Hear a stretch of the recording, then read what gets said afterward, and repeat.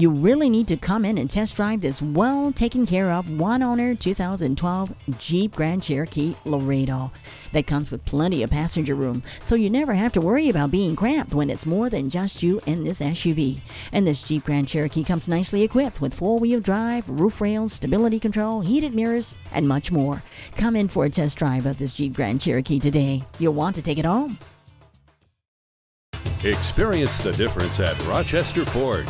We're conveniently located between 41st Street and 55th Street Northwest on Highway 52 in Rochester, Minnesota.